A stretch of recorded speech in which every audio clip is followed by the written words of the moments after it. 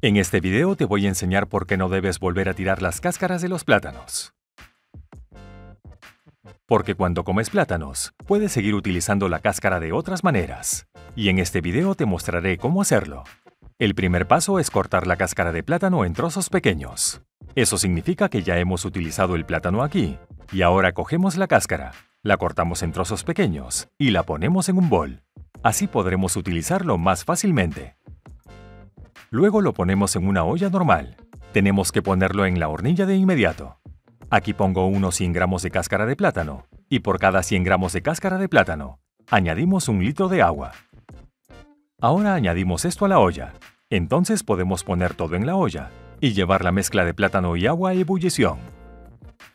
Una vez que esté hirviendo, podemos sacarlo de la olla y dejarlo enfriar. Para ello, simplemente lo aparté y lo dejé reposar toda la noche o al menos durante 12 horas. Después, queremos separar la cáscara de plátano del agua y verter el conjunto a través de un colador.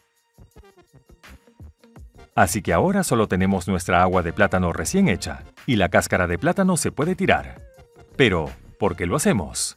El 12% de la cáscara de plátano está compuesto por importantes minerales que son perfectos para nuestras plantas. Para ello solo debemos diluir el conjunto una vez más. A un litro de agua de plátano que tengo ahora aquí, le añado otros 5 litros de agua. Y luego riego las plantas de la casa con ella.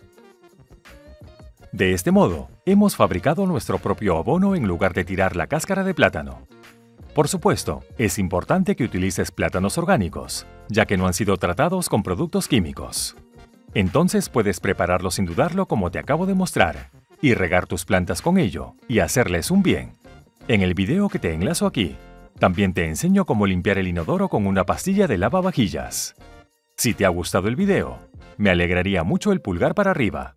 Y no olvides suscribirte a este canal y activar la campana para no perderte ningún video.